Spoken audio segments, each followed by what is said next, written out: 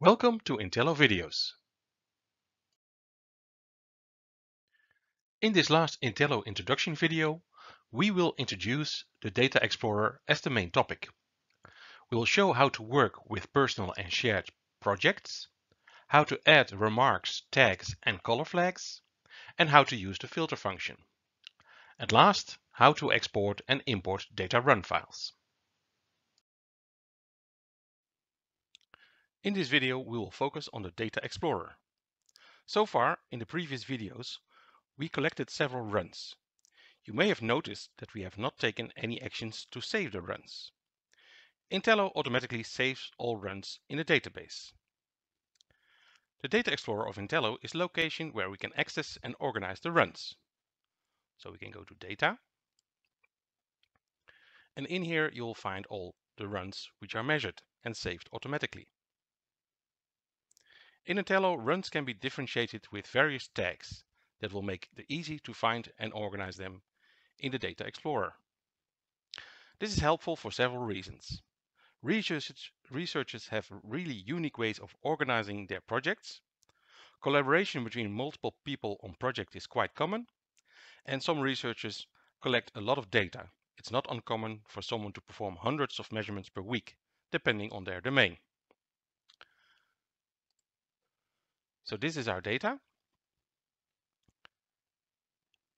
And we can personalize and tag these um, data with colors, for example, like this. If you can have good data, you can give it a green color.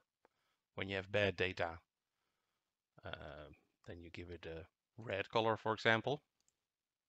But you can also uh, apply tags to the data. So for example, you can say EIS good data, or you can open the file and add extra remarks to it. For example, you can open it and say, all right, tests done on dummy cell add a remark to the data.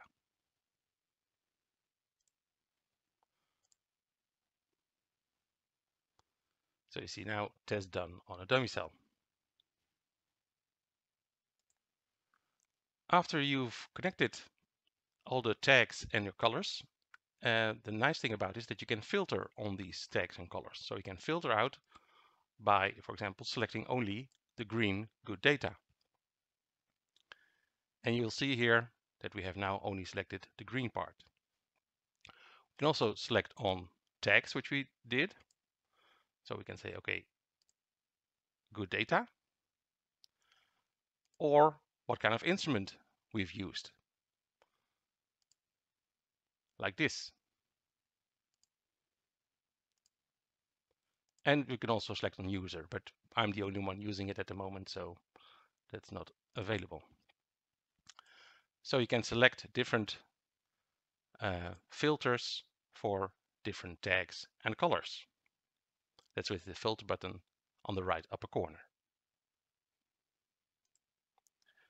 At the very top level of the structure of Intello, there's a division between personal project and shared projects. So here you'll find personal projects, but you can also switch to shared projects. The shared projects location is accessible to all Intello users on the same computer, much like the shared procedure library. So in this um, shared library, other users, like for example, I can switch to another user, like test for example, can open the same data file, like this. So we can share uh, data with your colleagues on the same computer. Yeah. We go back to my settings and we're back in my personal database. For now, we will stay in the personal projects location. The next thing we can do is we can select folders. We can create folders by adding this button here, add new folder. And then you can give it a name, whatever you want. Project B, for example.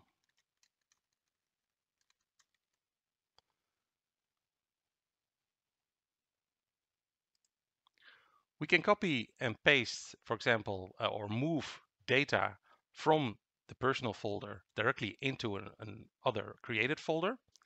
So what you can do, we can share a manage button and say move to folder. And then you can select which folder you want to move the data, project B. Or you can also, from this window, you can also create a new folder with this button here, project B. And now the data is moved from the personal library to the project B folder, like this. You can also move it back, of course, and you can also delete folders. So you can also move it back, share, move to folder, personal, okay. Then you move it back to the personal folder. And now it's back again. You can also delete folders, of course, with this button here. Delete selected items. And now the folder is gone. It's also possible to uh, export the data with this button here. Export selected runs. Then you select the folder, data, and then you can visualize how the data looks like. So you can uh, copy and paste from this folder. We see that we have exported several files. It's an IRF file and that stands for Intello run file and that's the data. When we go back, we can also import folder, import runs. So we can also say import run from file and then select the one from yesterday, for example, which is we have already. Okay, so this is how the folder structure looks like. We can also, now it's an expanded items view, as we call this, which means we have a graph we have the main parameters with the main um, parameters set in the main parameter list, the date and everything, and the name. But we can also have a compact view. With a compact view, you will see only the names of all the runs and the colors and the tags.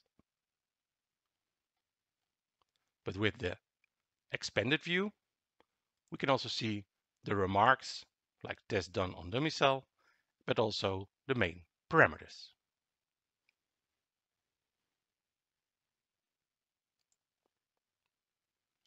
The listed runs are grouped by three criteria. First, they are grouped in chronological orders, with convenient groupings based on time. The headers display in the grouping, such as today, yesterday, last week, and so on. This approach should be familiar as it's similar structure used in many email applications. So we see if we look at the, the condensed view today, last week, and this month. The next grouping is based on the work systems used to collect the runs. In my example, most runs were collected on Vionic 0483. So you see, if we look at the, the list, 483, but this one is measured on 0005, but 483 again, and 483 again. But we also have a 0001. So it depends on which Vionic you've used. And the final grouping is based on the session. The session starts when a work system is claimed and it ends when it is released. Here we can see that there are runs from different sessions on the same work system and on the same day. For example, here. Session started 9th of June at 1321 by this user. And you can see at different time slots the different experiments started.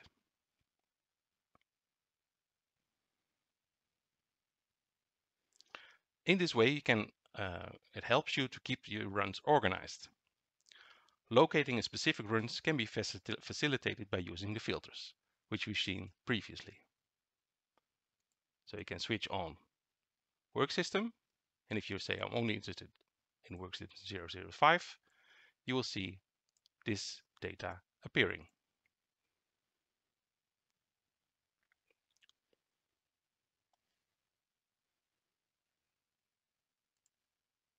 We've also seen that we manage and share the data. We can create a copy of the data, move to a folder, or export to file. So with the button here, you can uh, move the data to another location. With the other button here, you can open the data and add some remarks to it. If you want to say something about this data.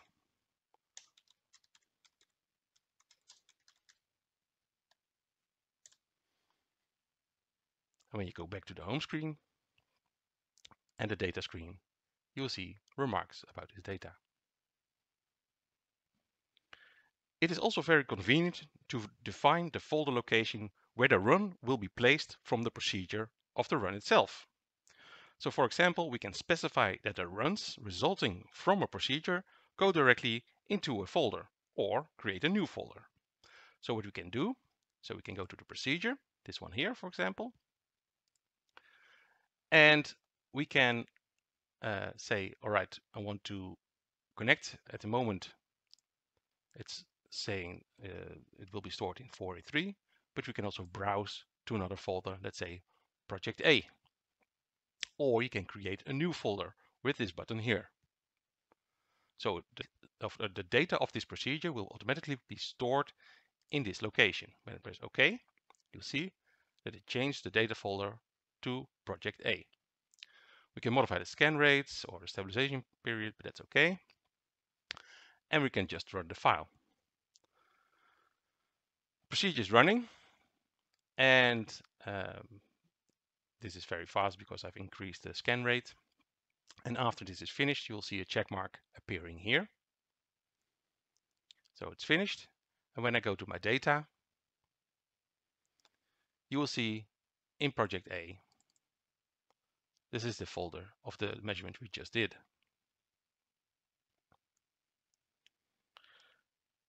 This concludes the introduction of the Intello software. Please contact your local representatives for further assistance. Thank you for watching.